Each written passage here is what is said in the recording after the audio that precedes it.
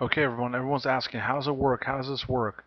Well, what equipment do I need to process on the Payware Mobile? The first thing you need is a merchant account, an iPhone that's 3G or 3GS. And you need to download the app. And you need to buy the card reader.